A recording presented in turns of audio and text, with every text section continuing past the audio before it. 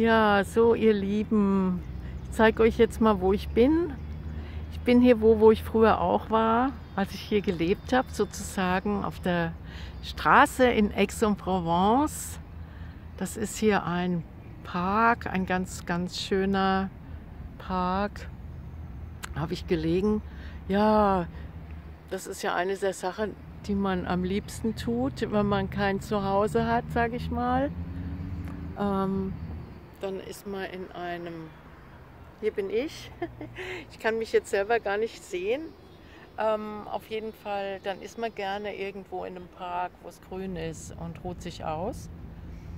Und ich bin jetzt zum ersten Mal wieder da, seit 2009, seit ich, also seitdem ich wieder eine Wohnung habe. Und ja, warum habe ich eigentlich so gelebt? Ähm, einmal, weil es mein Traum war, ohne Geld zu leben.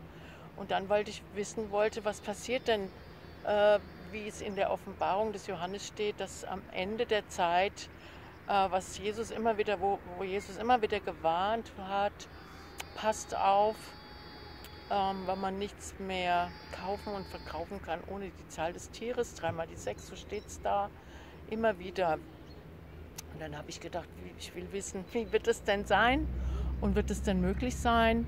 Und, und habe es ausprobiert und hat funktioniert. Und ich war damit noch sehr glücklich. Es war nicht einfach, sage ich nicht. Ähm, aber ich habe das auch gemacht im Hinblick auf das, was kommt, dass ähm, ja, ich allen Leuten erzählen kann, hey, ich habe es ausprobiert, ist möglich. Nicht so luxuriös gewesen, aber es hat mir viel Freude und Spaß gemacht. Und ja, ich habe ein Buch rausgegeben hier.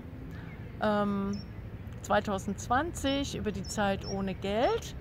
Und jetzt ganz aktuell, also das heißt der Vagabundenblog vom Leben ohne Geld.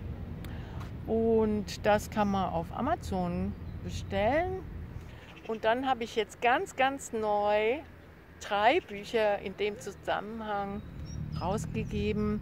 Einmal das Nachfolgebuch, das heißt Mein wundervolles Leben mit kaum Geld. Und dann habe ich noch eine englische Fassung Living for Free und eine zweisprachige.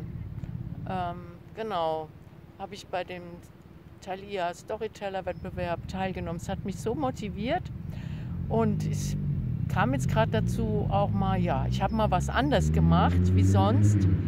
Äh, ich habe mich mal nicht abhalten lassen von, oh, die, die Übersetzung, die ist sowieso schlecht und alles ist immer irgendwie schlecht. genau. Und äh, hat mich blockiert und jetzt bin ich nach Frankreich gekommen. Habe hier von einem Freund, wo ich damals schon ganz viel untergekommen bin, der mich ganz viel beherbergt hat äh, und dem ich dann geholfen habe, den Haushalt auf Vordermann zu bringen. Der hat mir jetzt seine Wohnung überlassen, sehe ich als Künstlerresidenz sozusagen und da ist es mir eben gelungen, diese drei Bücher innerhalb von einer Woche zu veröffentlichen, die ich aber schon lange, lange, ich sage gerne auf der Wartehalte Halde hatte. So, genau. Und mir kam jetzt, ja, ich habe es einfach mal anders gemacht, als alles tausendmal zu durchdenken und wie könnte alles besser sein ähm, und was fehlt und ähm, ist ja noch nicht annähernd perfekt und habe einfach mal gemacht und ja, habe gemerkt, hey, das ist mal was Neues und für mich selber auch gut und eine große Freude. Ja, also ich bin tatsächlich glücklich. Nicht nur, dass ich hier bin, bin ich auch glücklich. Und jetzt zeige ich euch hier nochmal die Entchen. Ähm, sondern auch, dass ich ja meine Bücher veröffentlichen konnte. Weil es ist mir ein, ein dringendes Anliegen, dass ihr wisst, hey, also wenn das kommt, dass man nicht mehr kaufen, verkaufen kann, ohne sich da was weiß ich was äh, zu unterwerfen, was man alles gar nicht will, ähm, dann wisst ihr, hey, das geht auch ohne. Es gibt Leute, die haben das ausprobiert. Ich bin nicht die Einzige, es gibt noch mehr. Genau, und wenn ihr Lust habt, ähm, in zwei Wochen ist das Buch äh, im Buchhandel bestellbar.